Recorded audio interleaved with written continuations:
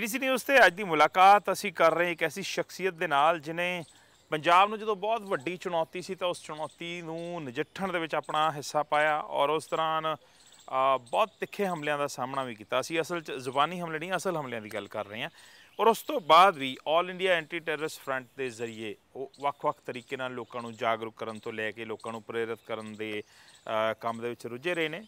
ਫਿਲਹਾਲ ਮਨਿੰਦਰਜੀਤ ਸਿੰਘ ਬਿੱਟਾ ਮੌਜੂਦਾ ਹਾਲਾਤ ਦੇ ਵਿੱਚ ਪੰਜਾਬ ਦੇ ਹਾਲਾਤ ਦੇ ਨਾਲ ਨਾਲ ਸਿੱਖੀ ਨੂੰ ਦਰਪੇਸ਼ ਇੱਕ ਬੜੀ ਵੱਡੀ ਚੁਣੌਤੀ ਤੋਂ ਖਾਸੇ ਐਜੀਟੇਟਿਡ ਖਾਸੇ ਪਰੇਸ਼ਾਨ ਨਜ਼ਰ ਆ ਰਹੇ ਨੇ।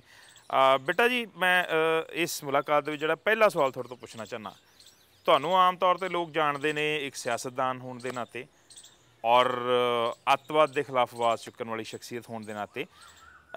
ਇਹ ਇਹ ਪਹਿਲੀ ਵਾਰ ਸ਼ਾਇਦ ਰੀਸੈਂਟ ਹਿਸਟਰੀ ਦੀ ਗੱਲ ਕਰੀਏ 10-12 ਸਾਲ ਦੀ ਹੋਇਆ ਹੈ ਕਿ ਤੁਸੀਂ ਸਿੱਖ ਧਰਮ ਦੇ ਨਾਲ ਸੰਬੰਧਿਤ ਕਿਸੇ ਗੱਲ ਨੂੰ ਲੈ ਕੇ ਬਹੁਤ ਜ਼ਿਆਦਾ ਔਖੇ ਹੋਏ ਹੋ ਔਰ ਹਰਿਆਣੇ ਦੀ ਵੱਖਰੀ ਕਮੇਟੀ ਦਾ ਵਿਰੋਧ ਕਰਦੇ ਨਜ਼ਰ ਆ ਰਹੇ ਹੋ। ਐਦਾਂ ਕਿਉਂ ਹੋਇਆ? ਨਹੀਂ ਇਹ ਪਹਿਲੀ ਵਾਰੀ ਨਹੀਂ ਹੋਇਆ। ਇਹ ਕਾਫੀ ਸਾਲ ਪਹਿਲਾਂ ਜਦੋਂ ਡੇਰਾ ਸੱਚਾ ਸੌਦਾ ਦਾ ਵਿਵਾਦ ਚੱਲਿਆ ਸੀ ਜੀ। ਉਦੋਂ ਸਭ ਤੋਂ ਪਹਿਲਾਂ ਮੈਂ ਆਵਾਜ਼ ਉੱਠੀ ਚੁੱਕੀ ਸੀ ਜੀ। ਵੀ ਬਚਪਨ ਦੇ ਅੰਦਰ ਤਾਂ ਸਾਰੀਆਂ ਚੀਜ਼ਾਂ ਅੱਖਾਂ ਨਾਲ ਦੇਖੀਆਂ ਪਰ ਸਮਝ ਨਹੀਂ ਸੀ। ਪਾੜੋ ਤੇ ਰਾਜ ਕਰੋ ਦੀ ਨੀਤੀ ਅਪਣਾਈ ਗਈ। ਅੱਜ ਫਿਰ ਉਹੀ ਸ਼ੁਰੂਆਤ ਹੋਈ ਸੈਂਟਰ ਦੀਆਂ ਇੰਟੈਲੀਜੈਂਸ ਏਜੰਸੀਆਂ ਵੱਲੋਂ ਕਿ ਪੰਜਾਬ ਦੇ ਹਾਲਾਤ ਨੂੰ ਖਰਾਬ ਕੀਤਾ ਜਾਵੇ। ਆਤੰਕਵਾਦੀ ਗੋਲੀਆਂ ਬੰਬ ਚਲਾਉਂਦੇ ਰਹੇ।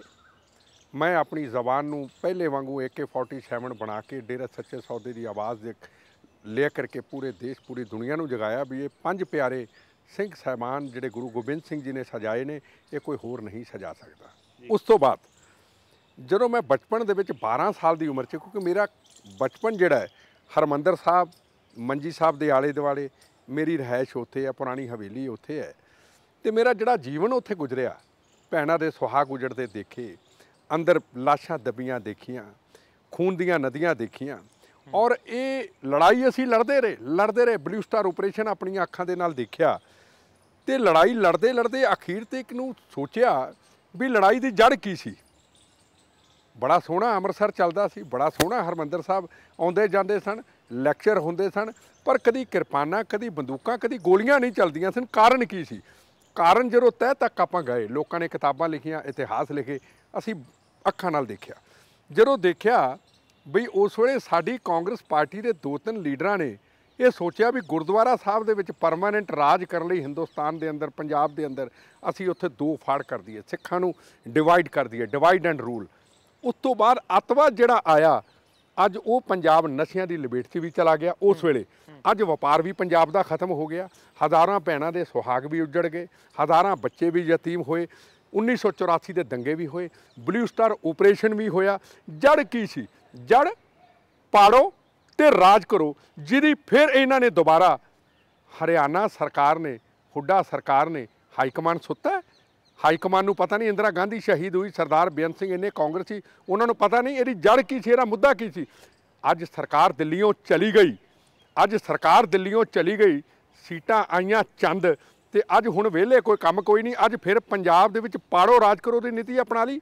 ਕੱਲ ਨੂੰ ਹਰਿਆਣੇ ਦੇ ਵਿੱਚ ਉਹਨਾਂ ਨੇ ਬਣਾਤੀ, ਫਿਰ ਦਿੱਲੀੋਂ ਕੋਈ ਇਹੋ ਜਿਹਾ ਲੀਡਰ ਪੰਜਾਬ ਦੇ ਵਿੱਚ ਕਾਂਗਰਸ ਦਾ ਆਏਗਾ, ਜਿਹਦੀ ਸੋਚ ਮਾੜੀ ਹੈ, ਹਜੇ ਵੀ ਉਹਦੀ ਸੋਚ ਮਾੜੀ ਹੈ, ਮੈਂ ਨਾਂ ਨਹੀਂ ਲੈਣਾ ਚਾਹੁੰਦਾ। ਉਹ ਕਹੇਗਾ, ਆਓ ਪੰਜਾਬ ਵੱਲ ਨੂੰ ਗੁਰਦੁਆਰਾ ਪ੍ਰਬੰਧਕ ਕਮੇਟੀ ਨੂੰ ਚੱਲੀਏ। ਮੈਨੂੰ ਫਿਰ ਉਹ ਪੁਰਾਣੀ 12 ਸਾਲ ਦੀ ਪੁਰਾਣੀ ਜਿਹੜੀ ਹਿਸਟਰੀ ਹੈ ਇਤਿਹਾਸ ਹੈ, ਜੋ ਮੈਂ ਆਪਣੀਆਂ ਅੱਖਾਂ ਨਾਲ 32 ਸਾਲ ਪਹਿਲਾਂ ਮੈਂ ਦੇਖਿਆ, ਮੈਨੂੰ ਯਾਦ ਆਉਂਦਾ ਸਵਾਲ ਹੈ ਕਿ ਜਦ ਇਤਿਹਾਸ ਦੇ ਸਾਡੇ ਜਾਣਕਾਰਾਂ ਨੇ ਉਸ ਵੇਲੇ ਦੀਆਂ ਕੋਰਟ ਕਚਹਿਰੀਆਂ ਨੇ, ਜਦੋਂ ਕੈਰੋ ਪ੍ਰਤਾਪ ਸਿੰਘ ਜੀ ਨੇ ਜਾਂ ਸੀਨੀਅਰ ਕਾਂਗਰਸ ਲੀਡਰਾਂ ਨੇ ਬਚਪਨ ਦੇ ਵਿੱਚ ਜੋ ਮੈਂ ਸੁਣਿਆ, ਇਹ ਕਿਹਾ ਵੀ ਕਾਂਗਰਸ ਕਦੀ ਵੀ ਗੁਰਦੁਆਰਾ ਪ੍ਰਬੰਧਕ ਕਮੇਟੀ ਦੇ ਵਿੱਚ ਦਖਲ ਨਾ ਦੇਵੇ, ਦਵੇਗੀ ਤੇ ਖੂਨ ਦੀਆਂ ਨਦੀਆਂ ਬਹਿਣਗੀਆਂ ਹੁਣ blue star operation black thunder ਖੂਨ ਦੀਆਂ ਨਦੀਆਂ ਬਈਆਂ ਤੋ ਇਤਿਹਾਸ ਦੇ ਖੂਨੀ ਪੰਨਿਆਂ ਨੂੰ ਕਾਂਗਰਸ ਦੀ ਲੀਡਰਸ਼ਿਪ ਖੋਲਣ ਦੀ ਕੋਸ਼ਿਸ਼ ਕਿਉਂ ਕਰੇ? ਮੇਰੇ ਤੇ ਕਈ ਇਲਜ਼ਾਮ ਲੱਗਣਗੇ, ਮੈਂ ਮੈਂ ਕਿਸੇ ਦੀ ਬੋਲੀ ਬੋਲਦਾ, ਪਰ ਸੱਚ ਨੂੰ ਸੱਚ ਕਹਿਣਾ। ਜੇ ਮੈਂ ਐਮਐਲਏ ਦੀ ਇਲੈਕਸ਼ਨ ਲੜਨੀ ਹੋਵੇ ਜੇ ਮੈਂ ਪੰਜਾਬ ਦਾ ਸੀਐਮ ਬੰਨਾ ਹੋਵੇ ਪੰਜਾਬ ਦਾ ਐਮਪੀ ਬੰਨਾ ਹੋਵੇ ਮੈਂ ਨਾ ਬੋਲਾਂ ਮੇਰੀ ਜ਼ਿੰਦਗੀ ਬੋਨਸ ਹੈ। ਮੈਂ ਇਲੈਕਸ਼ਨ ਨਹੀਂ ਲੜਨੀ ਕਰੀ ਜ਼ਿੰਦਗੀ ਦੇ ਵਿੱਚ। ਮੈਂ ਤਾਂ ਅਮਨ ਖੁਦ ਕਾਂਗਰਸੀ ਲੀਡਰ ਹੋ। ਇਹ ਇਹ ਇਹ- ਚੀਜ਼ਾਂ ਖੁਦ ਆਪਣੀ ਲੀਡਰਸ਼ਿਪ ਨਾਲ ਨਹੀਂ ਡਿਸਕਸ ਕੀਤੀਆਂ ਸੀ ਅਰੇ ਇਹਨਾਂ ਨੂੰ ਕਿਸੇ ਨੂੰ ਅਕਲ ਹੁੰਦੀ ਤੇ ਅੱਜ 47 ਸੀਟਾਂ ਆਉਂਦੀਆਂ। ਇਹਨਾਂ ਦੇ ਦਿਮਾਗ ਸਹੀ ਟਿਕਾਣੇ ਤੇ ਹੁੰਦੇ। ਅੱਜ ਇਹਨਾਂ ਦਾ ਪੰਜਾਬ ਦੋ ਵਾਰੀ ਇੱਥੋਂ ਨਿਕਲ ਜਾਂਦਾ। ਦੋ ਵਾਰੀ ਪੰਜਾਬ 'ਚ ਕਾਂਗਰਸ ਦੀ ਸਰਕਾਰ ਕਿਉਂ ਨਹੀਂ ਬਣੀ? ਸਭ ਤੋਂ ਵੱਡਾ ਕਾਰਨ ਸੀ ਸਰਕਾਰ ਨਾ ਬਣਨ ਦਾ। ਇਹਨਾਂ ਨੇ ਗੁਰਦੁਆਰਾ ਸਾਹਿਬ 'ਚ ਬਾਰ-ਬਾਰ ਦਖਲ ਦਿੱਤਾ। ਇਹਨਾਂ ਨੂੰ ਇਹੋ ਜਿਹੇ ਕਈ ਲੋਕ ਪਾਕਿਸਤਾਨ ਦੇ ਆਈਐਸਆਈ ਦੇ ਏਜੰਟ, ਇਹੋ ਜਿਹੇ ਲੋਕ ਜਿਹੜੀ ਖਾਲਿਸਤਾਨ ਦੀਆਂ ਮੰਗਾਂ ਕਰਦੇ ਸੀ, ਉਹਨਾਂ ਨੂੰ ਜੇਲ੍ਹਾਂ ਚੋਂ ਕੱਢ ਕੇ ਪੰਜਾਬ ਦੇ ਹਾਲਾਤਾਂ ਨੂੰ ਖਰਾਬ ਕੀਤਾ। ਦੋਨੋਂ ਵਾਰੀ ਲੋਕਾਂ ਨੇ ਪੰਜਾਬ ਦੀ ਸਰਕਾਰ ਨੂੰ ਨਕਾਰਿਆ ਨਹੀਂ ਤੇ ਸਾਡੀ ਸਰਕਾਰ ਬਣ ਇੱਕ ਗੱਲ ਜਿਹੜੀ ਕਹੀ ਜਾਂਦੀ ਹੈ ਜਿਹੜੀ ਜਿਹੜੀ ਗੱਲ ਇਸ ਵੇਲੇ ਹਰਿਆਣੇ ਦੀ ਵੱਖਰੀ ਕਮੇਟੀ ਦੀ ਮੰਗ ਕਰਨ ਵਾਲੇ ਲੋਕ ਕਹਿੰਦੇ ਨੇ ਉਹ ਇਹ ਕਹਿੰਦੇ ਨੇ ਕਿ ਅਸੀਂ ਸਿਆਸਤਦਾਨ ਨਹੀਂ ਹੈਗੇ ਅਸੀਂ ਹਰਿਆਣੇ ਦੇ ਆਮ ਸਿੱਖ ਹਾਂ ਸਾਡੇ ਨਾਲ ਸਾਡੀ ਗੱਲ ਨਹੀਂ ਮੰਨੀ ਜਾ ਰਹੀ। ਤੁਹਾਨੂੰ ਕਿਤੇ ਕਿਤੇ ਇਹ ਲੱਗਦਾ ਹੈ ਕਿ ਜਿਹੜੀ ਗੱਲ ਮੈਨੂੰ ਬਹੁਤ ਸਾਰੇ ਸਿੱਖ ਧਰਮ ਦੇ ਮਾਹਰ ਕਹਿੰਦੇ ਨੇ ਕਿ ਅਸੀਂ ਲੜਾਈ ਨੂੰ ਪ੍ਰੈਫਰ ਕਰਨ ਲੱਗ ਗਏ ਹਾਂ ਸੰਵਾਦ ਨਾਲੋਂ ਜਦ ਕਿ ਸਿੱਖੀ ਜਿਹੜੀ ਗੁਰੂ ਸਾਹਿਬਾਂ ਨੇ ਸਾਨੂੰ ਸੌਂਪੀ ਸੀ ਉਹਦੇ ਸੰਵਾਦ ਦੀ ਪਹਿਲ ਸੀ। ਅਸੀਂ ਆਪਸ 'ਚ ਗੱਲ ਕਰਨਾ ਛੱਡ ਗਏ ਹਾਂ ਡਾਂਗ ਸੋਟੇ ਤੇ ਜ਼ਿਆਦਾ ਧਿਆਨ ਦੇ ਰਹੇ ਹਾਂ। ਕਿ ਉਹ ਵੀ ਇੱਕ ਪੱਖ ਹੈਗਾ? ਦੇਖੋ ਜੀ ਮੈਂ ਬਿਲਕੁਲ ਇਹ ਤੁਹਾਡੀ ਨਾਲ ਗੱਲ ਨਾਲ ਸਹਿਮਤ ਹੋਵਾਂਗੇ। ਹਰਿਆਣੇ ਦੇ ਜਿਹੜੇ ਸਾਡੇ ਸਿੱਖ ਸਮਾਜ ਦੇ ਲੋਕ ਨੇ ਉਹਨਾਂ ਦੀਆਂ ਜ਼ਰੂਰ ਕੁਝ ਮੁਸ਼ਕਲਾਤਾਂ ਹੋਣਗੀਆਂ। ਜੀ। ਮੈਂ ਇਹਨਾਂ ਨੂੰ ਪੁੱਛਣਾ ਚਾਹ- ਚਾਹਨਾ ਕਿ ਕਾਂਗਰਸ ਦਾ ਲੀਡਰ ਖੁੱਡਾ ਸਾਡਾ ਵੱਡਾ ਹੈ ਜਾਂ ਅਕਾਲ ਤਖਤ ਸਾਹਿਬ ਵੱਡਾ ਹੈ? ਜਾਂ ਸਾਡੇ ਸਿੰਘ ਸਹਿਬਾਨ ਵੱਡੇ ਨੇ। ਦੋ ਗੱਲਾਂ ਦਾ ਫੈਸਲਾ ਇਹਨਾਂ ਨੇ ਲੀਡਰਾਂ ਨੂੰ ਕਰਨਾ ਪਏਗਾ। ਮੈਂ ਤਾਂ ਅਕਾਲ ਤਖਤ ਸਾਹਿਬ ਨੂੰ ਮੰਨਣਾ ਹੁਣ ਭੁੱਲਰ ਦਾ ਮਾਮਲਾ ਸੀ ਸਰਦਾਰ ਬੇਅੰਤ ਸਿੰਘ ਦਾ ਮਾਮਲਾ ਸੀ ਮੇਰੇ ਤੇ ਬੰਬ ਚੱਲੇ। ਉਹਨਾਂ ਨੇ ਕਈ ਐਲਾਨ ਜਾਰੀ ਕੀਤੇ ਪਰ ਮੈਂ ਉਹਨਾਂ ਦੀ ਸ਼ਾਨ ਦੇ ਖਿਲਾਫ ਕਦੀ ਬੋਲਿਆ ਨਹੀਂ। ਆਪਣੀ ਕਾਨੂੰਨੀ ਲੜਾਈ ਹਜੇ ਵੀ ਲੜ ਰਹੇ ਹਾਂ। ਪਰ ਤੁਸੀਂ ਤਾਂ ਅੰਮ੍ਰਿਤਧਾਰੀ ਸਿੱਖੋ ਮੈਂ ਤਾਂ ਅੰਮ੍ਰਿਤ ਨਹੀਂ ਛਕਿਆ। ਤੁਸੀਂ ਜਾਓ ਹਰਮੰਦਰ ਸਾਹਿਬ ਜਾਓ ਸਿੰਘ ਸਾਹਿਬਾਨ ਨੂੰ ਮਿਲੋ ਹੱਥ ਜੋੜੋ। ਜੀ। ਜੇ ਸਾਨੂੰ ਆ ਮੁਸ਼ਕਲ ਸਾਡੀ ਹੱਲ ਕਰੋ ਮੈਂ ਮੰਨ ਹੀ ਨਹੀਂ ਸਕਦਾ ਕਿ ਅਕਾਲ ਤਖਤ ਦੇ ਜਥੇਦਾਰ ਸਾਹਿਬ ਕਹਿਣ ਬਈ ਤੁਸੀਂ ਸਾਤੋਂ ਦੂਰ ਹੋ, ਜ਼ਰੂਰ ਹੱਲ ਹੋਵੇ ਪਰ ਤੁਸੀਂ ਇਲੈਕਸ਼ਨ ਤੋਂ ਪਹਿਲਾਂ, ਤੁਸੀਂ 2 ਸਾਲ ਪਹਿਲੇ ਹੁੱਡਾ ਸਾਹਿਬ ਫੈਸਲਾ ਕਰਦੇ, ਮੈਂ ਮੰਨ ਲੈਂਦਾ। ਕੋਈ ਹੋਰ ਪਾਰਟੀ ਕਰਦੀ, ਮੰਨ ਲੈਂਦਾ। ਤੁਸੀਂ 15 ਦਿਨ ਨੋਟੀਫਿਕੇਸ਼ਨ ਨੂੰ ਹੈ ਤੇ 15 ਦਿਨ ਤੁਸੀਂ ਪਹਿਲਾਂ ਵਿਧਾਨ ਸਭਾ 'ਚ ਅੱਗ ਲਾ ਕੇ ਤੁਸੀਂ ਫੈਸਲਾ ਕਰਕੇ ਖੂਨ ਦੀਆਂ ਨਦੀਆਂ ਬਹਾਉਣ ਨੂੰ ਤੁਰ ਪਏ। ਇਹ ਕਿੱਥੋਂ ਦੀ ਜੀ ਅਕਲਮੰਦੀ ਹੈ, ਮੈਨੂੰ ਤੁਸੀਂ ਦੱਸੋ। ਇਹ ਤਾਂ ਸਰਾਸਰ ਇਹ ਕਤਲੇਆਮ ਕਰਾਉਣ ਵਾਲੀ ਗੱਲ ਹੈ। ਇਤਿਹਾਸ ਦੇ ਖੂਨੀ ਪੰਨਿਆਂ ਨੂੰ ਖੋਲਣ ਵਾਲੀ ਗੱਲ ਹੈ। ਹਜੇ ਸਾਡੇ ਤੇ ਕਾਂਗਰਸ ਦੇ ਜਿਹੜੇ ਤੁਸੀਂ ਤੁਸੀਂ ਜਿਹੜੇ ਸ਼ਬਦ ਇਸ ਵੇਲੇ ਵਰਤ ਰਹੇ ਹੋ ਕਤਲੇਆਮ ਕਰਾਉਣ ਵਾਲੀ ਗੱਲ ਹੈ ਜਾਂ ਖੂਨੀ ਪੰਨੇ ਖੁੱਲਣ ਵਾਲੀ ਗੱਲ ਹੈ ਤੁਹਾਨੂੰ ਕੀ ਖਤਰਾ ਮਹਿਸੂਸ ਹੋ ਰਿਹਾ ਕਿ ਆਉਂਦੇ ਦਿਨਾਂ ਦੇ ਵਿੱਚ ਇਹ ਹਿੰਸਕ ਰੂਪ ਅਖਤਿਆਰ ਹੋਏਗਾ ਇਸ ਪੂਰੀ? ਤੁਸੀਂ ਇੱਕ ਗੱਲ ਦੇਖੋ ਆ ਥੋੜੇ ਦਿਨ ਪਹਿਲਾਂ ਹਰਮੰਦਰ ਸਾਹਿਬ 'ਚ ਕਰੋੜਾਂ ਲੋਕ ਅੱਜ ਇੰਨੀ ਆਸਥਾ ਵੱਧ ਗਈ ਹਰਮੰਦਰ ਸਾਹਿਬ ਦੀ ਦੁਨੀਆ 'ਚੋਂ ਹਿੰਦੂ ਮੁਸਲਮਾਨ ਸਿੱਖ ਈਸਾਈ ਭੱਜਿਆ ਆਉਂਦਾ। ਅੱਖਾਂ 'ਚ ਹੰਝੂ ਨੇ ਆਪਣੀਆਂ ਆਸਾਂ ਨੂੰ ਲੈ ਕੇ। ਤੇ ਜਦੋਂ ਕਿਰਪਾਨਾਂ ਕੱਢਦੇ ਨੇ ਬਾਹਰੋਂ ਆ ਕੇ ਖਾਲਿਸਤਾਨ ਦੇ ਨਾਰੇ ਤੇ ਦੁਨੀਆ ਤੋਂ ਜਿਹੜੇ ਆਉਣ ਵਾਲਾ ਹਰ ਮੁਸਲਮਾਨ, ਹਿੰਦੂ, ਸਿੱਖ, ਉਹ ਉੱਥੇ ਰੁਕ ਗਿਆ। ਤੁਸੀਂ ਦੇਖਦੇ ਨਹੀਂ ਆ ਕੀ ਸਾਹਮਣੇ ਹੋਇਆ। ਇਹ ਹਾਲਾਤ ਨੂੰ ਖਰਾਬ ਕਰਨ ਦੇ ਵਿੱਚ ਇਹ ਬਾਹਰ ਦੀਆਂ ਏਜੰਸੀਆਂ ਦੀ ਤਾਕਤ ਹੈ। ਇਹ ਸਾਡੀ ਪਾਰਟੀ ਦੇ ਚੰਦ ਨੇਤਾਵਾਂ ਦੀ ਤਾਕਤ ਹੈ। ਨਹੀਂ ਬੋਲਣ ਨੂੰ ਕੋਈ ਤਿਆਰ ਪਾਰਟੀ ਦੇ ਅੰਦਰ। ਇਤਿਹਾਸ ਇਹਨਾਂ ਨੂੰ ਕਦੀ ਮਾਫ ਨਹੀਂ ਕਰੇਗਾ, ਯਾਦ ਰੱਖਣਾ। ਮੈਂ ਕਾਂਗਰਸ ਦੇ ਅੰਦਰ ਆ, ਮੈਂ ਅੱਖਾਂ ਨਾਲ ਦੇਖਿਆ, ਮੈਂ ਇਲੈਕਸ਼ਨ ਨਹੀਂ ਲੜਨੀ, ਮੈਂ ਖੁੱਲ ਕੇ ਬੋਲੂੰਗਾ ਵੀ ਆ, ਤੁਸੀਂ ਇਤਿਹਾਸ ਦੇ ਖੂਨੀ ਪੰਨਿਆਂ ਨੂੰ ਖੋਲਦੇ ਸਾਨੂੰ ਕੀ ਲੋੜ ਹੈ? ਕਈ ਕਹਿੰਦੇ ਨੇ ਅਕਾਲੀ ਪੋਲਿਟਿਕਸ ਨਹੀਂ ਕਰਦੇ, ਕਈ ਕਹਿੰਦੇ ਨੇ। ਤੇ ਉਹਨਾਂ ਦਾ ਵੀ ਇਤਿਹਾਸ ਹੈ, ਉਹਨਾਂ ਦਾ ਕਲਚਰ ਹੈ। ਅਸੀਂ ਐਕਸਪੈਰੀਮੈਂਟ ਕਰਕੇ ਲੀਡਰਾਂ ਨੇ, ਕਾਂਗਰਸ ਦੇ ਲੀਡਰਾਂ ਨੇ ਦੇਖ ਲਿਆ ਹੈ। 32 ਸਾਲ ਹੋ ਗਏ 36000 ਬੇਗੁਨਾਹ ਦੇ ਖੂਨ ਹੋ ਗਏ। ਸਾਨੂੰ ਕੀ ਲੱਭਿਆ? ਰਾਜਨੀਤੀ ਫੇਰ ਉਦਾਂ ਉਹਨਾਂ ਦੀ ਕਰਨੇ ਕਰਨ ਦਿਓ। 5 ਸਾਲ ਸਾਨੂੰ ਸਰਕਾਰ ਮਿਲਦੀ ਹੈ 5 ਸਾਲ ਉਹਨਾਂ ਨੂੰ ਮਿਲਦੀ ਹੈ। ਜੇ ਦੋ ਵਾਰੀ ਸਾਨੂੰ ਸਰਕਾਰ ਨਹੀਂ ਮਿਲੀ, ਤੇ ਉਹ ਸਾਡੀਆਂ ਗਲਤੀਆਂ ਨਾਲ ਨਹੀਂ ਮਿਲੀ। ਅਸੀਂ ਇਤਿਹਾਸ ਦੇ ਖੂਨੀ ਪੰਨਿਆਂ ਨੂੰ ਦੁਹਰਾ ਕੇ ਹਰਮੰਦਰ ਸਾਹਿਬ 'ਚ ਦਖਲਅੰਦਾਜ਼ੀ ਕੀਤੀ। ਜੀ। ਸੋ ਤੁਹਾਨੂੰ ਤੁਹਾਨੂੰ ਹੁਣ ਕੀ ਲੱਗਦਾ ਹੁਣ ਇਸ ਹਾਲਾਤ ਦੇ ਵਿੱਚ ਜਦੋਂ ਲਗਭਗ ਇਹ ਪੱਕਾ ਹੋ ਗਿਆ ਕਿ ਕਮੇਟੀ ਬਣੀ ਖੜੀ ਹੈ, ਤਾਂ ਫਿਰ ਤੁਸੀਂ ਕੀ ਵੇਖਦੇ ਹੋ? ਮੈਂ ਇੱਕ ਗੱਲ ਸਪਸ਼ਟ ਕਹਿ ਦਿਆਂ, ਇਹ ਸਭ ਡਰਾਮੇ ਨੇ ਹੁੱਡਾ ਸਾਹਿਬ ਦੇ। ਪਤਾ ਨਹੀਂ ਕੱਲ ਨੂੰ ਇਹਨਾਂ ਨੇ ਆਉਣਾ ਹੈ ਜਾਂ ਨਹੀਂ ਆਉਣਾ। ਇਹ ਡਰਾਮੇ ਨੇ, ਇਹ ਸਿੱਖ ਸਮਾਜ ਨੂੰ ਗੁੰਮਰਾਹ ਕੀਤਾ ਹੈ। ਸਿੱਖਾਂ ਨੂੰ ਪਾੜਨ ਦੀ ਕੋਸ਼ਿਸ਼ ਕੀਤੀ ਹੈ। ਹਰਿਆਣਾ ਤੇ ਪੰਜਾਬ ਵਿੱਚ ਤਾਂ ਸਿੱਖ ਤਾਂ ਸਾਰੇ ਇੱਕੋ ਹੀ ਆ। ਗੁਰੂ ਮਹਾਰਾਜ ਦੇ ਸਿੱਖ ਸਵਾਲ ਸਭ ਤੋਂ ਵੱਡਾ ਹੈ, ਇਹ ਬਣਾ ਹੀ ਨਹੀਂ ਸਕਦੇ। ਗਵਰਨਰ ਕੋਲ ਜਾਣਾ ਹੈ। ਸੈਂਟਰ 'ਚ ਜਾਣਾ ਹੈ, ਰਾਸ਼ਟਰਪਤੀ ਕੋਲ ਜਾਣਾ ਹੈ, ਜਿਹੜੀ ਚੀਜ਼ ਹੋ ਹੀ ਨਹੀਂ ਸਕਦੀ, ਇਹ ਤਾਂ ਲੋਕਾਂ ਨੂੰ ਬੇਵਕੂਫ ਬਣਾਤਾ ਔਰ ਸਭ ਤੋਂ ਦੇਖੋ ਜੀ, ਇਹਨਾਂ ਦੇ ਸਿੱਖਾਂ ਦੇ ਆਗੂਆਂ ਦੇ ਹਰਿਆਣਾ ਦੀ ਮੈਂ ਗੱਲ ਕਰਨਾ ਚਾਹੁੰਦਾ ਜਦੋਂ ਇਹਨਾਂ ਨੇ ਰੈਲੀ ਕੀਤੀ ਕੁਰਸ਼ਖੇਤਰਾ ਦੇ ਵਿੱਚ, ਕੁਰਸ਼ਖੇਤਰਾ 'ਚ ਜਦੋਂ ਰੈਲੀ ਕੀਤੀ, ਹਰਮੰਦਰ ਸਾਹਿਬ ਭੇਟ ਕਰ ਰਹੇ ਨੇ। ਸਿੱਖ ਸਮਾਜ ਦੀ ਰੈਲੀ। ਮੈਂ ਹੈਰਾਨ ਮੱਕੜ ਸਾਹਿਬ ਵੀ ਇਹਦੇ ਤੇ ਨਹੀਂ ਬੋਲੇ, ਸ਼੍ਰੋਮਣੀ ਅਕਾਲੀ ਦਲ ਵੀ ਨਹੀਂ ਇਹਦੇ ਤੇ ਬੋਲਿਆ, ਗੁਰਦੁਆਰਾ ਪ੍ਰਬੰਧਕ ਕਮੇਟੀ ਵੀ ਨਹੀਂ ਬੋਲੇ। ਸਿਰ ਤੇ ਦਸਤਾਰ ਵੀ ਨਹੀਂ, ਪਰਨਾ ਵੀ ਨਹੀਂ। ਭਾਸ਼ਣ ਦੇ ਰਹੇ ਨੇ ਸਿੱਖ ਸਮਾਜ ਨੂੰ। ਅੱਜ ਨਰਿੰਦਰ ਮੋਦੀ ਆਇਆ, ਰਾਹੁਲ ਗਾਂਧੀ ਆਇਆ, ਰਾਜੀਵ ਗਾਂਧੀ ਆਏ, ਨਰਸਿਮਹਾ ਰਾਓ ਕੋਲ ਅਸੀਂ ਪ੍ਰਾਈਮ ਮਿਨਿਸਟਰ ਹਾਊਸ ਦੇ ਵਿੱਚ ਹਜ਼ਾਰਾਂ ਨੌਜਵਾਨ ਲੈ ਕੇ ਜਾਂਦੇ ਰਹੇ। ਜਦੋਂ ਗੁਰੂ ਮਹਾਰਾਜ ਦੀ ਤਸਵੀਰ ਦੇਣੀ, ਉਹਨਾਂ ਦਾ ਸਰੂਪ ਦੇਣਾ, ਸਿਰ ਤੇ ਪਗੜੀ ਪਾਉਣੀ। ਉਹ ਤੁਸੀਂ ਪਗੜੀ ਤੋਂ ਬਗੈਰ ਹੱਥ ਕਿਹੜੇ ਨੇ? ਕਿਸੇ ਦੇ ਸਿਗਰਟ ਦੇ ਹੱਥ ਨੇ? ਕਿਸੇ ਦੇ ਕਿਹੜੇ ਹੱਥ ਨੇ? ਕੀ ਗਰੰਟੀ? ਉਹਨਾਂ ਦੇ ਹੱਥਾਂ ਨਾਲ ਗੁਰੂ ਗ੍ਰੰ- ਤੁਸੀਂ ਹਰਮੰਦਰ ਸਾਹਿਬ ਨੂੰ ਐ ਐ ਕਰਾਤਾ, ਇਹ ਕਿਸੇ ਨੇ, ਇਹ ਕਿਸੇ ਨੇ ਸੋਚਿਆ, ਇਹ ਸਾਡੇ ਹਰਿਆਣਾ ਦੇ ਸਿੱਖਾਂ ਦੇ ਜਿਹੜੇ ਆਗੂ ਨੇ ਇਹਨਾਂ ਦੀ ਅਕਲ ਦੀ ਮੈਂ ਗੱਲ ਕਰਦਾ ਤੁਸੀਂ ਤਾਂ ਹਰਮੰਦਰ ਸਾਹਿਬ ਦਾ ਵੀ ਅਪਮਾਨ ਕਰਤਾ ਤੁਸੀਂ ਗੁਰੂ ਮਹਾਰਾਜ ਦੀ ਮਰਿਆਦਾ ਦਾ ਵੀ ਅਪਮਾਨ ਕਰਤਾ। ਮੈਂ ਤਾਂ ਅੰਮ੍ਰਿਤ ਨਹੀਂ ਛਕਿਆ ਤੁਸੀਂ ਤਾਂ ਅੰਮ੍ਰਿਤ ਛਕਿਆ। ਤੁਸੀਂ ਕਿਉਂ ਨਹੀਂ ਹੁੱਡਾ ਸਾਹਿਬ ਦੇ ਸਿਰ ਦੇ ਉੱਤੇ ਦਸਤਾਰ ਪਾਈ? ਦਸਤਾਰ ਨਹੀਂ ਸੀ ਤੇ ਪਟਕਾ ਹੀ ਬੰਨ ਲੈਂਦੇ ਸਾਡਾ ਨਿਸ਼ਾਨ ਸਾਹਿਬ ਹੁੰਦਾ। ਸਿੱਖਾਂ ਦਾ ਸੰਮੇਲਨ ਸੀ। ਦੇਖੋ ਮੇਰੇ ਮੈਂ ਤੁਹਾਡੇ ਤੋਂ ਸਵਾਲ ਪੁੱਛਣਾ ਚਾਹੁੰਦਾ ਨਰਿੰਦਰ ਮੋਦੀ ਜੀ ਆਏ ਰਾਹੁਲ ਗਾਂਧੀ ਆਇਆ ਜੀ। ਕਿਸੇ ਤੇ ਦਸਤਾਰ ਨਹੀਂ ਪਾਈ? ਤੁਸੀਂ ਸਾਡੀ ਕੌਮ ਨੂੰ ਹੁੱਡਾ ਸਾਹਿਬ ਐ ਐ ਸੁੱਟ ਦਿੱਤਾ? ਤਾਂ ਇਹਨਾਂ ਨਾਲ ਭੇਡਾਂ ਬੱਕਰੀਆਂ ਬਣਾ ਕੇ, ਇਹ ਇਹ ਕੌਮ ਭੇਡਾਂ ਬੱਕਰੀਆਂ ਨਹੀਂ, ਇਹਦਾ ਮਾਨ ਸਨਮਾਨ ਕਰਨਾ ਸਿੱਖੋ। ਜੀ, ਸੋ ਤੁਸੀਂ ਉਹ ਚਿੰਨਾਂ ਦਾ ਅਪਮਾਨ ਦੇਖਦੇ ਹੋ ਉਹਦੇ ਵਿੱਚ। ਅਸੀਂ ਇਸ ਵੇਲੇ ਇੱਕ ਛੋਟੇ ਜਿਹੇ ਵਕਫੇ ਦੇ ਲਈ ਰੁਕਦੇ ਹਾਂ। ਬੇਟਾ ਸਾਹਿਬ, ਬਹੁਤ ਸਾਰੇ ਹੋਰ ਸਵਾਲ ਨੇ। ਜਿਹੜੇ ਇਸ ਮੁਲਾਕਾਤ 'ਚ ਮੈਂ ਤੁਹਾਡੇ ਤੋਂ ਜਿਨ੍ਹਾਂ ਦਾ ਜਵਾਬ ਜ਼ਰੂਰ ਲੈਣਾ ਚਾਹੂੰਗਾ, ਜਿਹਦੇ ਤੁਹਾਡੀ ਜ਼ਾਤੀ ਜ਼ਿੰਦਗੀ ਤੋਂ ਲੈ ਕੇ ਪੰਜਾਬ ਦੇ ਮੌਜੂਦਾ ਹਾਲਾਤ ਦੇ ਵਿੱਚ ਤੁਸੀਂ ਇਸ ਵੇਲੇ ਕੀ ਕੰਟਰੀਬਿਊਟ ਕਰ ਸਕਦੇ ਹੋ, ਇਹਦੇ ਬਾਰੇ ਗੱਲ ਕਰਾਂਗੇ। ਛੋਟੀ ਜਿਹੀ ਬ੍ਰੇਕ ਤੋਂ ਬਾਅਦ ਅਸੀਂ ਵਾਪਸ ਮਿਲਦੇ ਹਾਂ ਇਸ ਮੁਲਾਕਾਤ ਵਿੱਚ।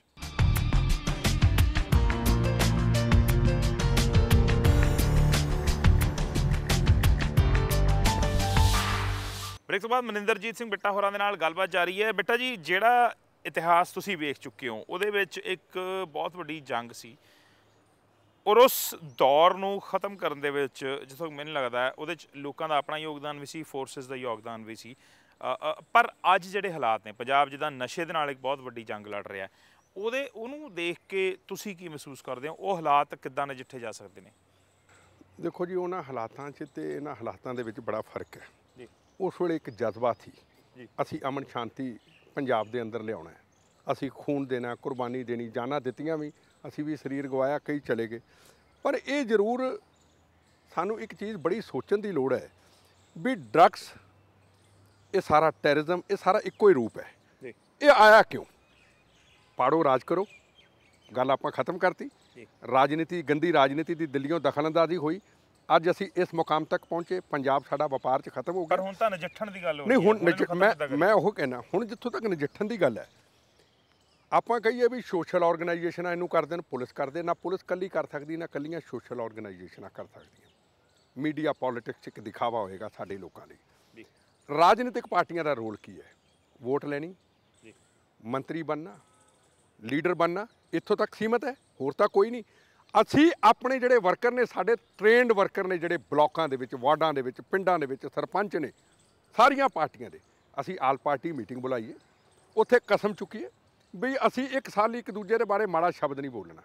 ਸਾਡਾ ਇੱਕੋ ਟੀਚਾ ਜਿਵੇਂ ਅਸੀਂ ਟੈਰਰਿਜ਼ਮ ਅਸੀਂ 25 ਸਾਲ ਦਾ 30 ਸਾਲ ਦਾ ਟੈਰਰਿਜ਼ਮ ਅਸੀਂ ਇੱਕ ਸਾਲ 'ਚ ਸਮਾਪਤ ਕੀਤਾ ਅਸੀਂ ਇੱਕ ਸਾਲ ਦੇ ਵਿੱਚ ਡਰੱਗਸ ਜਿਹੜੀ ਹੈ, ਇੱਥੋਂ ਖਤਮ ਕਰਨੀ, ਨਸ਼ਾ ਖਤਮ ਕਰਨਾ ਮੈਂ ਤੁਹਾਨੂੰ ਅੱਜ ਗਰੰਟੀ ਨਾਲ ਕਹਿ ਸਕਦਾ ਬਈ ਆਪਾਂ ਇਹਨੂੰ ਐਸਾ ਜੜੋਂ ਪੁੱਟਾਂਗੇ ਜਿਵੇਂ ਅੱਤਵਾਦ ਪੰਜਾਬ 'ਚ ਨਹੀਂ ਹੈ ਨਸ਼ਾ ਨਾ ਆਮ ਆਮ। ਬੰਦੇ ਦਾ ਕੀ ਰੋਲ ਵੇਖਦੇ ਹੋ ਪਰਿਵਾਰਾਂ ਦਾ? ਬਹੁਤ ਬਹੁਤ ਸਾਰੇ ਲੋਕ ਇਹ ਮੰਨਦੇ ਨੇ ਕਿ ਅਸੀਂ ਪਰਿਵਾਰਾਂ ਨੂੰ ਇਹ ਗੱਲ ਸਮਝਾਉਣ 'ਚ ਨਾਕਾਮਯਾਬ ਰਹੇ ਹਾਂ ਕਿ ਜਿਹੜੇ ਬੱਚੇ ਨਸ਼ਾ ਕਰ ਰਹੇ ਨੇ ਉਹ ਬਿਮਾਰ ਨੇ ਉਹਨਾਂ ਨੂੰ ਇਲਾਜ ਦੀ ਜ਼ਰੂਰਤ ਹੈ ਔਰ ਉਹ ਲੰਬੇ ਇਲਾਜ ਦੀ ਜ਼ਰੂਰਤ ਹੈ।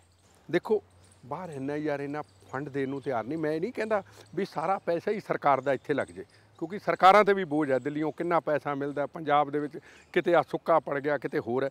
ਮੈਂ ਕਹਿੰਦਾ ਵੀ ਜਿਹੜੇ ਬਾਹਰੋਂ ਯਾਰ ਨੇ ਉਹਨਾਂ ਤੋਂ ਮਦਦ ਲਵੇ। ਗੁਰਦੁਆਰਾ ਪ੍ਰਬੰਧਕ ਕਮੇਟੀ ਦਾ ਇਹਦੇ 'ਚ ਬੜਾ ਰੋਲ ਹੋ ਸਕਦਾ ਉਹ ਬੜਾ ਫੰਡ ਦੇ ਸਕਦੇ ਨੇ, ਬਾਹਰ ਗੱਲ ਕਰ ਸਕਦੇ ਨੇ। ਪਰ ਜਿਸ ਤਰ੍ਹਾਂ ਪੰਜਾਬ ਦੇ ਵਿੱਚ ਟੈਰਰਿਜ਼ਮ ਖਤਮ ਕਰਨ ਲਈ ਸਾਰੀ ਪੋਲੀਟੀਕਲ ਪਾਰਟੀਆਂ ਨੇ ਸਹੁੰ ਚੁੱਕੀ, ਸਾਰੀ ਪੋਲੀਟੀਕਲ ਪਾਰਟੀਆਂ ਇੱਕ ਮੰਚ ਤੇ ਇਕੱਠੀਆਂ ਹੋਣ ਇਮਾਨਦਾਰੀ ਦੇ ਨਾਲ, ਵੀ ਅਸੀਂ ਇਹਨੂੰ ਠੀਕ ਕਰਨਾ, ਮੈਂ ਤੁਹਾਨੂੰ ਗਰੰਟੀ ਨਾਲ ਕਹਿਣਾ ਅਸੀਂ ਅੱਤਵਾਦ ਇਕੱਲਿਆਂ ਨੇ ਠੀਕ ਨਹੀਂ ਕੀਤਾ। ਪੁਲਿਸ ਨੇ ਇਕੱਲਿਆਂ ਠੀਕ ਨਹੀਂ ਕੀਤਾ। ਪੋਲੀਟੀਕਲ ਪਾਰਟੀਆਂ ਨੇ ਇੱਕ ਸਾਂਝੀ ਕਮੇਟੀ ਬਣਾ ਕੇ BJP, Congress, CPM, CPI, Akali Dal ਦਾ ਕੁਝ ਹਿੱਸਾ। ਅਸੀਂ ਸਹੁੰ ਖਾਦੀ ਵੀ ਸਾਨੂੰ ਕੁਰਸੀ ਸਤਾ ਨਹੀਂ ਚਾਹੀਦੀ। ਅਸੀਂ ਅੱਤਵਾਦ ਨੂੰ ਖਤਮ ਕਰਨਾ ਇਹ ਹੋ ਸਕਦਾ ਹੈ, ਕੋਈ ਔਖਾ ਕੰਮ ਨਹੀਂ। ਪਰ ਪੋਲੀਟੀਕਲ ਪਾਰਟੀ ਆਪਣੇ ਵਰਕਰਾਂ ਦਾ ਇਸਤੇਮਾਲ ਗਲਤ ਪਾਸੇ ਲਿਜਾਣ ਲਈ ਉਹਨਾਂ ਦੀ ਜਿਹੜੀ ਸੋਚ ਹੈ, ਉਹ ਨਾਰਕੋ ਟੈਰਰਿਜ਼ਮ ਵਾਲੇ ਪਾਸੇ ਇਸਤੇਮਾਲ ਕਰਨ। ਜ਼ਰੂਰ ਠੀਕ ਹੋਏਗਾ। ਅਗਰ ਤੁਸੀਂ ਮੈਨੂੰ ਕਹੋ ਕਿ ਮੈਂ ਮੈਂ ਐਲਾਨ ਕਰਾਂਗਾ। ਮੈਂ ਤਿਆਰ ਹਾਂ। ਮੈਂ ਟੈਰਰਿਜ਼ਮ ਦੇ ਖਿਲਾਫ ਲੜਾਈ ਲੜੀ, ਖਤਮ ਕੀਤਾ ਮਿਲ ਕੇ। ਮੈਂ ਇਹਦੇ ਖਿਲਾਫ ਵੀ ਡਟ ਕੇ ਕੰਮ ਕਰਾਂਗਾ। ਪਰ ਮੈਂ ਤੁਹਾਨੂੰ ਕਹਾ ਕਿ ਮੈਂ ਇਕੱਲਾ ਠੀਕ ਕਰ ਦਿਆਂਗਾ? ਨਹੀਂ। ਪੋਲੀਟੀਕਲ ਪਾਰਟੀਆਂ all political party Congress BJP CPM CPI ਤੁਹਾਡੀ ਅਕ- ਸ਼੍ਰੋਮਣੀ ਅਕਾਲੀ ਦਲ ਸਾਰੇ ਇਕੱਠੇ ਹੋਣ?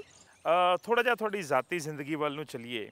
ਬਹੁਤ ਸਾਰੇ ਲੋਕਾਂ ਦੇ ਸਵਾਲ ਨੇ, ਬਹੁਤ ਸਾਰੇ ਲੋਕਾਂ ਦੇ ਇਲਜ਼ਾਮ ਨੇ। ਖਾਸ ਤੌਰ ਤੇ ਬਾਹਰੋਂ ਬਹੁਤ ਸਾਰੇ ਸਵਾਲ ਇਹ ਉੱਠਦੇ ਨੇ ਕਿ ਬਰਿੰਦਰਜੀਤ ਬਿੱਟਾ ਆਪਣੀ ਜ਼ਿੰਦਗੀ ਚਲਾਉਣ ਲਈ ਪੰਜਾਬ 'ਚ ਹਰਿਆਣੇ 'ਚ ਦਿੱਲੀ 'ਚ ਲੋਕਾਂ ਨੂੰ ਅੱਤਵਾਦ ਦੇ ਡਰਾਵੇ ਦਿੰਦੇ ਰਹਿੰਦੇ ਨੇ ਮੈਂ ਇੱਕ ਗੱਲ ਤੁਹਾਨੂੰ ਬੜਾ ਸਵਾਲ ਪੁੱਛਣਾ ਚਾਹੁੰਦਾ ਪਿਛਲੇ 7 ਜਾਂ 8 ਸਾਲ ਤੋਂ ਜਾਂ 9 ਸਾਲ ਤੋਂ ਮੇਰਾ ਆਤੰਕਵਾਦ ਦੇ ਖਿਲਾਫ ਇੱਕ ਵੀ ਬਿਆਨ ਨਹੀਂ ਆਇਆ ਪਾਕਿਸਤਾਨ ਦੇ ਖਿਲਾਫ ਬੜੀ ਵਾਰ ਤੁਸੀਂ? ਬੋਲੇ ਹੋ ਹੈਂ? ਪਾਕਿਸਤਾਨ ਦੇ ਖਿਲਾਫ ਬੜੀ ਵਾਰ। ਪਾਕਿਸਤਾਨ ਦੇ ਮੇਰਾ ਮੇਰਾ ਫਰਜ਼ ਹੈ ਪਾਕਿਸਤਾਨ ਜਿਹਨੇ 26 11 ਦੀ ਘਟਨਾ ਕੀਤੀ ਜਿਹਨੇ ਸਾਡੇ ਪੰਜਾਬ ਨੂੰ ਬਰਬਾਦ ਕੀਤਾ ਜਿਹਨੇ ਕਾਰਗਿਲ ਦੇ ਵਿੱਚ ਸਾਡੇ ਜਵਾਨਾਂ ਨੂੰ ਸ਼ਹੀਦ ਕੀਤਾ ਜਿਹਨੇ ਸਾਡੇ ਜਵਾਨਾਂ ਦੇ ਸਿਰ ਕੱਟ ਦਿੱਤੇ ਉਹ ਤਾਂ ਮੇਰਾ ਇੱਕ ਕਰਤੱਵ ਹੈ। ਲੋਕ ਕਹਿੰਦੇ ਨੇ ਕਿ ਤੁਸੀਂ ਆਪਣੀ ਜ਼ੈਡ ਸਿਕਿਉਰਿਟੀ ਮੇਨਟੇਨ ਕਰਨ ਲਈ ਜ਼ਿਆਦਾ ਦੇਖੋ ਗੱਲ ਇਹ ਹੈ। ਗੱਲ ਇਹ ਹੈ ਕਈ ਲੋਕ ਸੁਰੱਖਿਆ ਰੱਖਦੇ ਨੇ ਪੈਸਾ ਕਮਾਉਣ ਲਈ।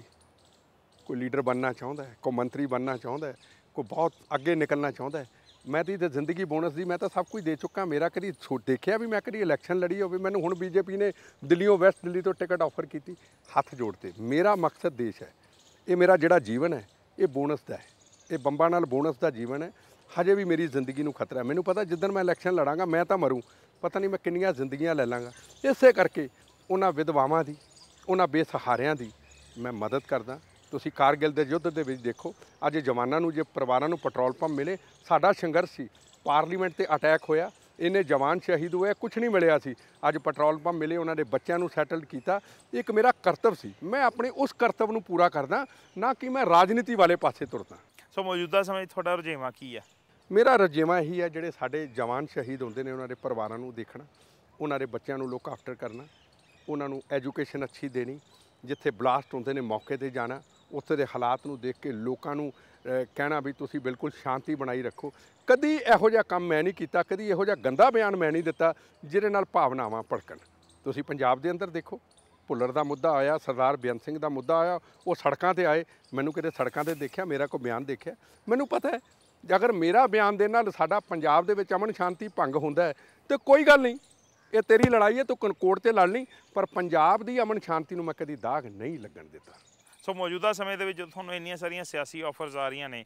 ਤੁਸੀਂ ਤੁਸੀਂ ਕਦੇ ਕੰਸੀਡਰ ਕਰ ਰਹੇ ਹੋ ਕਿ ਤੁਸੀਂ ਹੁਣ ਦੁਬਾਰਾ ਐਕਟਿਵਲੀ ਸਿਆਸਤ ਨਹੀਂ ਚਾਹੋ? ਮੈਂ ਮੈਂ ਬੜੀ ਬੋਨਸ ਦੀ ਜ਼ਿੰਦਗੀ ਆ। ਮਰ ਚੁੱਕਿਆ ਮਰ ਕੇ ਬਚਿਆ। ਤੇ ਮੈਂ ਆਪਣਾ ਜਿਹੜਾ ਜੀਵਨ ਹੈ ਇਹਨਾਂ ਸ਼ਹੀਦ ਪਰਿਵਾਰਾਂ ਲਈ ਪੰਜਾਬ ਦੀ ਅਮਨ ਸ਼ਾਂਤੀ ਲਈ ਦੇਸ਼ ਲਈ ਜਿਵੇਂ ਹੁਣ ਪੰਜਾਬ ਦੇ ਵਿੱਚ ਗੁਰਦੁਆਰਾ ਸਾਹਿਬ ਦੀ ਮੰਗ ਉੱਠੀ ਮੈਂ ਸੜਕ ਤੇ ਆ ਗਿਆ। ਉਹ ਤੁਹਾਡਾ ਡੇਰਾ ਸੱਚਾ ਸੌਦਾ ਦਾ ਵਿਵਾਦ ਹੋਇਆ, ਮੈਂ ਸੜਕ ਤੇ ਆ ਗਿਆ। ਇਹ ਖਤਮ ਹੋ ਜਾਏਗਾ, ਮੈਂ ਫਿਰ ਚੁੱਪ ਕਰਕੇ ਬਹਿ ਜਾਗਾ। ਮੈਂ ਪੰਜਾਬ ਦਾ ਅਮਨ ਸ਼ਾਂਤੀ ਭੰਗ ਨਹੀਂ ਹੋਣ ਦੇਣਾ, ਅਗਰ ਕਾਂਗਰਸ ਪਾਰਟੀ ਦੇ ਅੰਦਰੋਂ ਕੋਈ ਵੀ ਲੀਡਰ ਪੰਜਾਬ ਦੇ ਵਿੱਚ ਗੁਰਦੁਆਰਿਆਂ ਦੀ ਰਾਜਨੀਤੀ, ਗੁਰਦੁਆਰਾ ਸਾਹਿਬ ਦੇ ਰਾਜਨੀਤੀ ਦਖਲਅੰਦਾਜ਼ੀ ਕਰਨ ਦੀ ਕੋਸ਼ਿਸ਼ ਕਰਦਾ ਪੰਜਾਬ ਦੇ ਲੋਕਾਂ ਨੂੰ ਕੱਲਾ ਕੱਲਾ ਜਗਾਵਾਂਗਾ। ਇਲੈਕਸ਼ਨ ਨਹੀਂ ਲੜਾਂਗਾ। ਦੋ ਵਾਰੀ ਆ ਰਹੇ ਤੀਜੀ ਵਾਰੀ ਇਹਨਾਂ ਦੇ ਚਣੇ ਚਬਾ ਦੂੰ। ਅਗਰ ਇਹ ਗੁਰਦੁਆਰਾ ਸਾਹਿਬ 'ਚ ਨਾ ਦਖਲ ਦੇਣ ਵਿਕਾਸ ਦੀ ਗੱਲ ਕਰਨ ਤਰੱਕੀ ਦੀ ਕਾਂਗਰਸ ਦੀ ਸੱਚੀ ਪਾਲਿਸੀ ਤੇ ਚੱਲਣ ਅੱਤਵਾਦੀਆਂ ਦਾ ਖਾਲਿਸਤਾਨੀਆਂ ਦਾ ਅੰਦਰੋਂ ਸਾਥ ਨਾ ਦੇਣ ਤੇ ਮੈਂ ਕੀ ਲੈਣਾ? ਇਹ ਆਪਣਾ ਸੀਐਮ ਬਣ ਜੋ ਮਰਜ਼ੀ ਬਣ ਮੇਰਾ ਕੀ ਲੈਣਾ ਦੇਣਾ? ਮੇਰਾ ਕੰਮ ਹੈ ਜਿਹੜਾ ਖੂਨ ਦੇ ਕੇ ਅਮਨ ਸ਼ਾਂਤੀ ਪੰਜਾਬ 'ਚ ਅਸੀਂ ਲੈ ਕੇ ਦਿੱਤਾ ਉਹ ਅਮਨ ਸ਼ਾਂਤੀ ਬਣਿਆ ਰਵੇ ਕੁਰਸੀ ਸਤਾ ਮੇਰਾ ਮਕਸਦ ਨਹੀਂ। ਆਖਰ ਆਖਰ 'ਚ ਤੁਸੀਂ ਗੱਲ ਬਾਰ-ਬਾਰ ਪੰਜਾਬ ਦੀ ਕਰ ਰਹੇ ਹੋ। ਪੰਜਾਬ ਨੂੰ ਇਸ ਵੇਲੇ ਜਿਹੜੀ ਸਭ ਤੋਂ ਵੱਡੀ ਲੋੜ ਹੈ ਸਿਆਸਤ ਕਰਨ ਵਾਲੇ ਬਹੁਤ ਹੈਗੇ ਨੇ। ਮੈਂ ਜਿਹੜੀ ਗੱਲ ਸ਼ੁਰੂਆਤ ਕੀਤੀ ਸੀ ਇਸ ਹਿੱਸੇ ਦੀ ਉਹ ਹੈ ਨਸ਼ੇ ਨਾਲ ਲੜਾਈ ਦੇ ਵਿੱਚ। ਤੁਸੀਂ ਉਹਦੇ 'ਚ ਹੁਣ ਕੀ ਯੋਗਦਾਨ ਪਾ ਸਕਦੇ ਹੋ? ਔਰ ਇੰਨੀ ਦੇਰ ਤੱਕ ਕਿਉਂ ਨਹੀਂ ਐਕਟਿਵ ਹੋਏ ਮੈਂ ਉਹ? ਦੇਖੋ ਸਵਾਲ ਇਹ ਹੈ ਕਿ ਮੇਰੇ ਪਾਸ ਪੂਰੇ ਦੇਸ਼ ਬੜੇ ਹੋਰ ਕੰਮ ਸੀ। ਮੈਂ ਪੰਜਾਬ ਦੇ ਵਿੱਚ ਜਦੋਂ ਵੀ ਐਕਟਿਵ ਹੋਣ ਦੀ ਇਹੋ ਜਿਹੇ ਕੰਮ 'ਚ ਕਦੀ ਕੋਸ਼ਿਸ਼ ਕਰਦਾ ਤੇ ਉਹਦਾ ਗਲਤ ਮਤਲਬ ਕੱਢਿਆ ਜਾਂਦਾ ਹੈ। ਜ਼ਿਆਦਾ ਤੌਰ ਤੇ ਮੇਰੇ ਕਾਂਗਰਸੀ ਭਰਾ ਕੋ ਹੋਰ ਪੋਲੀਟੀਕਲ ਪਾਰਟੀ ਨਹੀਂ। ਉਹ ਕਹਿਣਗੇ ਯਾਰ ਇਹਨੇ ਇਲੈਕਸ਼ਨ ਲੜਨੀ ਹੈ। ਇਹ ਰਾਜਨੀਤੀ 'ਚ ਐਕਟਿਵ ਹੋ ਰਿਹਾ ਹੈ। ਕੋਈ ਪਤਾ ਨਹੀਂ ਕਈ ਇਹੋ ਜਿਹੇ ਕਾਂਗਰਸੀ ਲੀਡਰ ਨੇ ਉਹਨਾਂ ਦਾ ਵਾਰ ਬੜਾ ਬੜਾ ਖਤਰਨਾਕ ਹੈ। ਮਰ ਜਾਣਗੇ ਮਰਵਾ ਦੇਣਗੇ ਇਹਨਾਂ ਦੇ ਬੰਦੇ ਇਹਨਾਂ ਦੀਆਂ ਕਈ ਏਜੰਸੀਆਂ ਦੇ ਲੋਕ ਇੰਟੈਲੀਜੈਂਸ ਏਜੰਸੀਆਂ ਦੇ ਲੋਕ ਮਰਵਾ ਦੇਣਗੇ ਇਹ ਕਹਿ ਦੇਣਗੇ ਇਹ ਇਸ ਸਵਾਲ ਦੇ ਜਵਾਬ ਤੋਂ ਪਹਿਲਾਂ ਤੁਹਾਡੇ ਤੋਂ ਕਿਉਂਕਿ ਤੁਹਾਡੀ ਗੱਲ ਤੋਂ ਮੈਨੂੰ ਇਹ ਮਹਿਸੂਸ ਹੋਣ ਲੱਗ ਗਿਆ ਕਿ ਤੁਸੀਂ ਹੁਣ ਕਾਂਗਰਸ ਤੋਂ ਹੀ ਫੈਡ ਅਪ ਹੋਏ ਲੱਗਦੇ ਨਾ ਨਾ ਨਾ ਨਾ ਨਾ ਕਾਂਗਰਸ ਮੇਰੀ ਮਾਂ ਹੈ। ਜੇ ਕਾਂਗਰਸ ਤੋਂ ਮੈਂ ਨਾਰਾਜ਼ ਹੁੰਦਾ ਤੇ ਮੈਂ ਪਾਰਟੀ ਛੱਡ ਕੇ ਕਿਤੇ ਹੋਰ ਚਲੇ ਜਾਣਾ ਮੈਨੂੰ ਰਾਜ ਸਭਾ ਕਈ ਚੀਜ਼ਾਂ ਮਿਲਦੀਆਂ ਸੀ। ਕਾਂਗਰਸ ਮੇਰੀ ਮਾਂ ਹੈ, ਇਹ ਤਾਂ ਨੀਲੇ ਰੰਗ ਦੀ ਸ਼ਾਹੀ ਨਾਲ ਕਾਂਗਰਸ ਦੇ ਮੈਂਬਰ ਬਣੇ। ਮੈਂ ਆਪਣਾ ਬਾਰ-ਬਾਰ ਸਰੀਰ ਦਾ ਖੂਨ ਦਾ ਹਿੱਸਾ ਕਾਂਗਰਸ ਦੇ ਦਫ਼ਤਰ 'ਚ ਡੋਲਿਆ। ਮੈਂ ਤਾਂ ਅਸੂਲਾਂ ਦਾ ਕਾਂਗਰਸੀ ਆ ਉਹ ਕਾਂਗਰਸੀ ਜਿਹੜਾ ਸਰਦਾਰ ਪਟੇਲ ਤੇ ਉਹਨਾਂ ਦਾ ਕਾਂਗਰਸੀ ਇਹ ਤਾਂ ਕਾਂਗਰਸੀ ਥੋੜਾ ਨੇ, ਇਹ ਤਾਂ ਕੁਰਸੀ ਸਦਾ ਦੇ ਕਾਂਗਰਸੀ ਨੇ ਹੁੱਡਾ ਦੇ ਪਿੱਛੇ ਲੱਗੇ ਮੈਂ ਤਾਂ ਨਹੀਂ ਲੱਗਿਆ। ਸਵਾਲ ਸਭ ਤੋਂ ਵੱਡਾ ਹੈ ਕਿ ਮੇਰਾ ਜਿਹੜਾ ਮਕਸਦ ਹੈ, ਅਮਨ ਸ਼ਾਂਤੀ ਬਣਿਆ ਰਵੇ ਔਰ ਜਿਹੜੀ ਡਰੱਗਸ ਦਾ ਜਿਹੜੀ ਤੁਸੀਂ ਇਹ ਗੱਲ ਕਰਦੇ ਹੋ, ਇਹਦੇ ਲਈ ਮੈਂ ਅੰਦੋਲਨ ਅੱਜ ਸ਼ੁਰੂ ਕਰਦੇ ਆ ਪਰ ਮੈਨੂੰ ਪਤਾ ਹੈ, ਇਹਦੇ 'ਚ ਮੇਰੀ ਜਾਨ ਵੀ ਜਾ ਸਕਦੀ ਹੈ, ਪਰ ਮੈਂ ਕਰਾਂਗਾ। ਮੈਨੂੰ ਪਤਾ ਕਰ ਦੇਗਾ ਕੋਈ, ਕਹਿ ਦੇਣਗੇ ਬੱਬਰ ਖਾਲਸਾ ਕਰ ਗਿਆ ਲਕਚਰੇ ਤੋਬਾ ਕਰ ਗਿਆ, ਕਰ ਜਾਣਾ ਏਜੰਸੀਆਂ ਨੇ। ਬੜੇ ਬੜੇ ਲੋਕ ਇੱਥੇ ਬੈਠੇ ਨੇ, ਜ਼ਿੰਦਗੀ ਦਾ ਬੜਾ ਸਫ਼ਰ, ਬੜਾ ਕੁਝ ਦੇਖਿਆ। ਪੋਲੀਟੀਕਲ ਟੈਰਰਿਜ਼ਮ ਦਾ ਮੈਂ ਸ਼ਿਕਾਰ ਹਾਂ। ਬੰਬਾਂ ਗੋਲੀਆਂ ਦਾ ਨਹੀਂ। ਬੰਬ ਗੋਲੀਆਂ ਜਿਹੜੇ ਚੱਲੇ ਇਹ ਤਾਂ ਮੈਨੂੰ ਫੁੱਲਾਂ ਵਾਂਗੂ ਲੱਗੇ। ਜਿਹੜਾ ਮੈਨੂੰ ਪੋਲੀਟੀਕਲ ਟੈਰਰਿਜ਼ਮ ਸਾਡੀ ਪਾਰਟੀ ਵੱਲੋਂ ਕੀਤਾ ਗਿਆ ਉਹ ਬਰਦਾਸ਼ਤ ਨਹੀਂ ਹੁੰਦਾ ਉਹ ਬੜਾ ਖਤਰਨਾਕ। ਸੋ ਆਉਂਦੇ ਸਮਾਂ 'ਚ ਅਸੀਂ ਤੁਹਾਡਾ ਰੋਲ ਕੀ ਵੇਖਦੇ ਹਾਂ ਪੰਜਾਬ ਦੇ ਵਿੱਚ? ਮੇਰਾ ਰੋਲ। ਮੇਰਾ ਰੋਲ ਹੁਣ ਜਿਹੜਾ ਸਭ ਤੋਂ ਵੱਡਾ ਜਿਹੜਾ ਹੈ ਉਹ ਡਰੱਗਸ ਦਾ ਹੈ। ਕਿ ਮੈਂ ਉਹਨੂੰ ਕਿਸ ਤਰੀਕੇ ਦੇ ਨਾਲ ਲੋਕਾਂ ਨੂੰ ਲਾਮਬੰਦ ਕਰਕੇ ਖੜਾ ਕਰਾਂ। ਔਰ ਸਾਰੀਆਂ ਰਾਜਨੀਤਿਕ ਪਾਰਟੀਆਂ ਕੋਲ ਜਾ ਕੇ ਕਹਾਂ ਵੀ ਆਓ 6 ਮਹੀਨੇ ਲਈ ਇੱਕ ਮੰਚ ਤੇ ਇਕੱਠੇ ਹੋ ਜਾਈਏ। ਕੋਈ ਇੱਕ ਦੂਸਰੇ ਤੇ ਇਲਜ਼ਾਮਬਾਜ਼ੀ ਨਾ ਕਰੀਏ। ਇੱਕੋ ਹੀ ਮਕਸਦ, ਥੱਲੇ ਵਰਕਰ ਤੱਕ, ਸਰਪੰਚ ਤੱਕ ਵਾਰਡ ਪ੍ਰੈਜ਼ੀਡੈਂਟ ਤੱਕ, ਬਲਾਕ ਪ੍ਰੈਜ਼ੀਡੈਂਟ ਤੱਕ, ਡਿਸਟ੍ਰਿਕਟ ਪ੍ਰੈਜ਼ੀਡੈਂਟ ਤੱਕ, ਇੱਕੋ ਹੀ ਮਕਸਦ ਹੋਵੇ, ਅਸੀਂ ਨਾਰਕੋ ਟੈਰਰਿਜ਼ਮ ਖਤਮ ਕਰਨਾ ਜਿਹੜੇ ਨੌਜਵਾਨ ਇੱਧਰ ਹੈਗੇ ਨੇ, ਉਹਨਾਂ ਨੂੰ ਸਿੱਧੇ ਰਸਤੇ ਪਾਣਾ ਉਹਨਾਂ ਦਾ ਇਲਾਜ ਕਰਾਉਣਾ ਉਹਨਾਂ ਲਈ ਪੈਸੇ ਲਾਉਣੇ, ਅਸੀਂ ਕੈਂਪ ਲਾਉਣੇ ਹੈ। ਇਹ ਤਾਂ ਜਾ ਕੇ ਮੇਰਾ, ਮੈਂ ਸਮਝੂੰਗਾ, ਮੇਰਾ ਅਗ- ਅਗਲਾ ਮਕਸਦ ਪੂਰਾ ਹੋਏਗਾ। ਨਹੀਂ ਤਾਂ ਸਾਡੀ ਪੰਜਾਬ ਦੀ ਜਵਾਨੀ ਅੱਜ ਬਹੁਤ ਪਿੱਛੇ ਨੂੰ ਜਾ ਰਹੀ ਹੈ।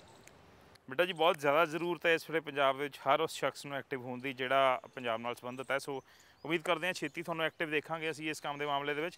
ਫਿਲਹਾਲ ਬਹੁਤ ਬਹੁਤ ਸ਼ੁਕਰੀਆ ਆਪਣਾ ਵਕਤ ਕੱਢਣ ਦੇ ਵਾਸਤੇ. ਮਨਿੰਦਰਜੀਤ ਬਿੱਟਾ ਦੇ ਨਾਲ ਇਸ ਮੁਲਾਕਾਤ ਦੇ ਵਿੱਚ ਅਸੀਂ ਤੁਹਾਡੇ ਤੋਂ ਇਜਾਜ਼ਤ ਚਾਹੁੰਦੇ ਹਾਂ ਔਰ ਲਗਾਤਾਰ ਖਬਰਾਂ ਦਾ ਸਿਲਸਿਲਾ ਪੀਡੀਸੀ ਨਿਊਜ਼ ਤੇ ਜਾਰੀ ਰਹੇਗਾ।